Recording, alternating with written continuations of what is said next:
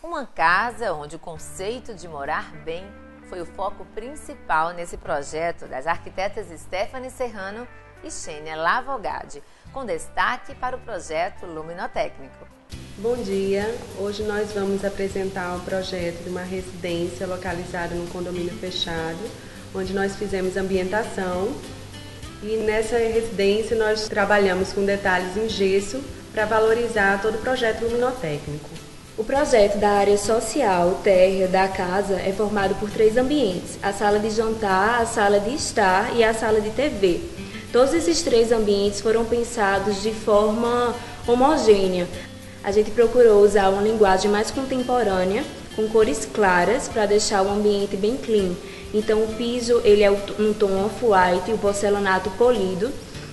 Todos os móveis variam do tom bege ao tom off-white também é, com alguns toques coloridos, apenas os objetos, para poder dar um destaque maior. A família é composta de um casal e quatro filhos.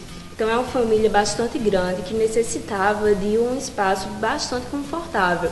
Então, visando isso, a gente procurou trabalhar bem no layout, com uma distribuição legal dos móveis para atender todos os moradores da casa. Nós procuramos usar bastante laca nos móveis, que é um acabamento que dá bastante sofisticação, um brilho diferenciado. Então, na sala, a maioria dos objetos, eles são ou de laca ou da própria madeira natural. A gente usou, trabalhou na sala de jantar as cadeiras do designer Jader Almeida, que são cadeiras diferenciadas e únicas. São peças importantíssimas para compor o ambiente de forma geral. Nós usamos também o painel da TV laqueado em um tom bege e por trás dele nós usamos o mármore filetado branco e valorizamos este material com iluminação em fita de LED e alguns pontos de mini foco. Ainda falando sobre essa área social, na parte do mezanino, tendo ainda essa integração com essa parte da sala social, mas criando um ambiente mais reservado, mais íntimo. Nós fizemos um ambiente bem descontraído para os filhos, já que nós estamos falando de uma família grande, de quatro filhos, um ambiente descontraído com cores é, primárias, o amarelo, o vermelho, o azul. Nós fizemos um projeto de uma estante com vários nichos trabalhando com diversas peças de decoração, deixando o ambiente bastante alegre. É uma área que possui uma certa integração com a área social no piso térreo, mas de uma forma reservada. E lá nós criamos um ambiente descontraído, onde, onde vai ser um ambiente utilizado pelos filhos. E nós procuramos trabalhar com cores primárias para deixar o ambiente bastante alegre Lá é uma sala de TV e ao mesmo tempo um espaço de jogos, onde nós temos um sofá bem confortável para eles assistirem televisão. Nós projetamos uma estante com vários nichos, onde nós colocamos várias peças de decoração, deixando o ambiente bem descontraído. No, no centro dessa estante, nós posicionamos um painel em laca, onde nós temos a televisão. E esse espaço ficou um espaço de TV e um espaço de jogos. Nós temos uma mesa redonda com cadeiras onde eles podem jogar, um ambiente bem alegre e aconchegante. Em relação ao quarto dos meninos, nós temos a parte do, do quarto, onde tem as camas, com uma bancada e televisão. Ainda integrado, nós temos a parte do closet. E nessa área do quarto, nós, te, nós delimitamos a área da, das, das camas com um tablado nesse tom de concreto, solto do chão. O piso, a gente tentou trabalhar nessa parte superior, um piso emadeirado, que remete mais um aconchego, já que nós trabalhamos o piso num tom off-white com brilho nessa parte social da casa.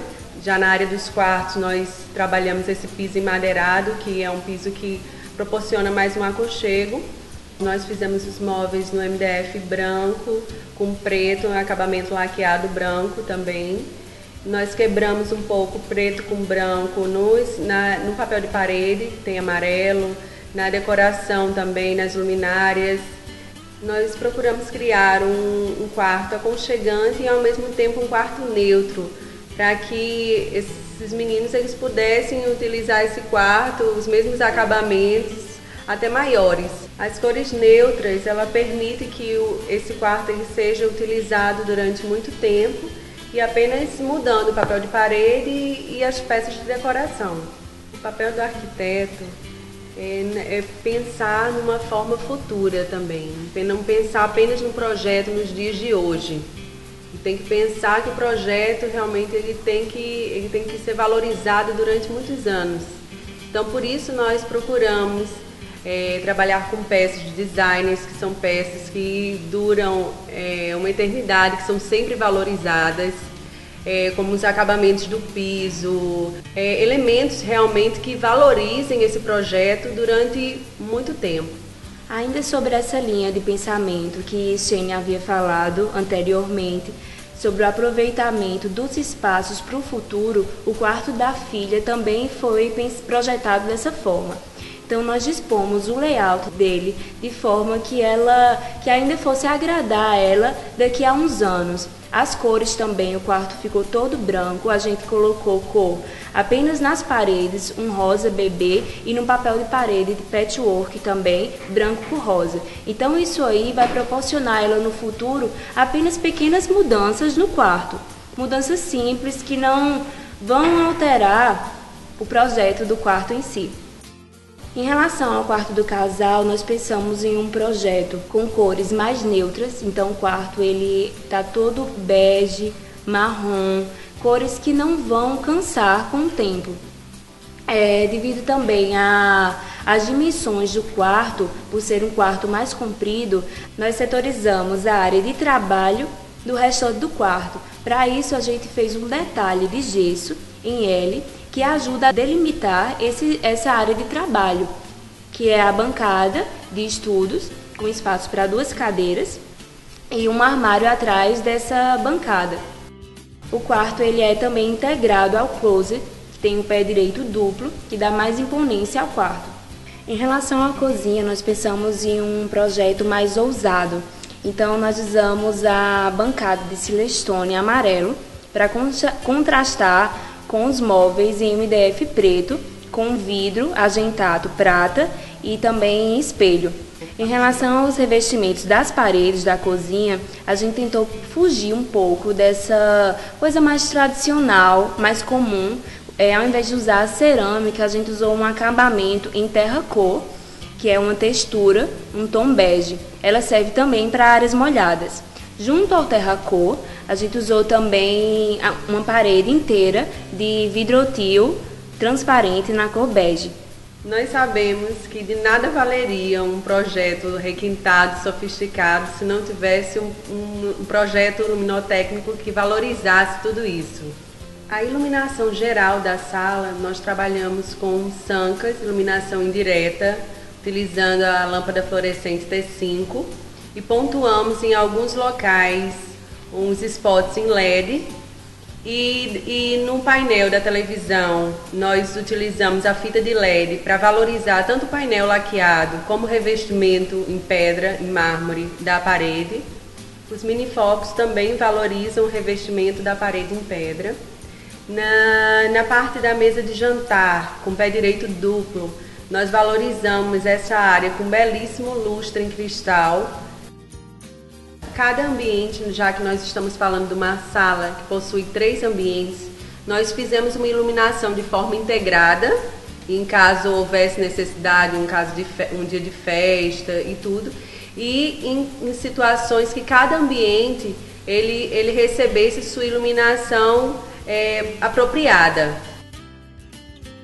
Ainda continuando falando dessa parte da área comum, na parte da sala mais íntima é, de TV e de jogos, nós trabalhamos também com iluminação indireta, com a T5, pontuamos com, com spots em LED e para fazer composição com esses spots, nós fizemos, nós criamos um detalhe no gesso, um rebaixo linear, três rasgos.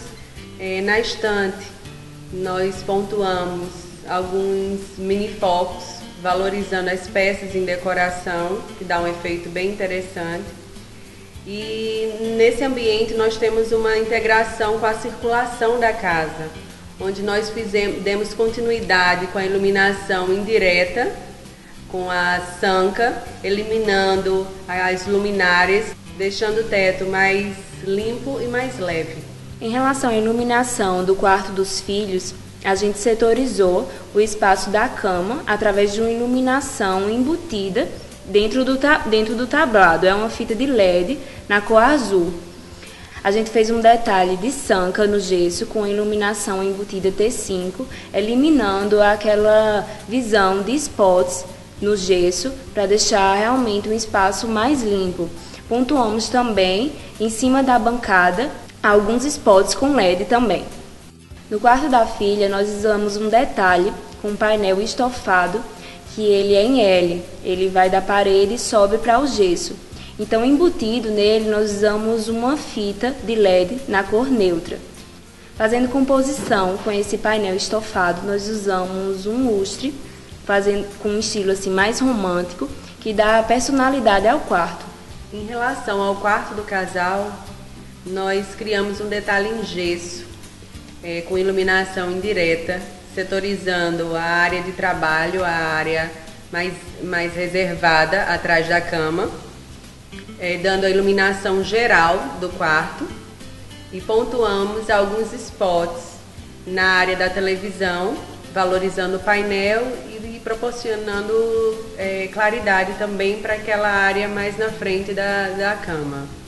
No closet do casal, valorizando o pé direito duplo que nós temos. Nós colocamos um lustre em tecido na, numa área mais reservada, onde nós temos as, uma poltrona e fazendo a iluminação já nessa parte do, do closet, na área do, do guarda-roupa, a iluminação geral, nós colocamos os spots em LED. No forro de gesso, da cozinha, a gente fez uma sanca e usou a lâmpada T5 no tom neutro.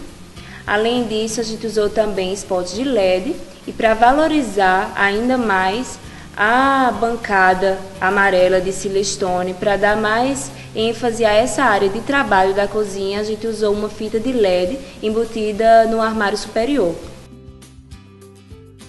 Para que a gente consiga um resultado satisfatório, é muito importante essa comunicação com o cliente para que a gente possa absorver realmente as necessidades do cliente, é, o orçamento do cliente, para que a gente possa ter realmente um resultado que satisfaça o cliente de acordo com suas necessidades.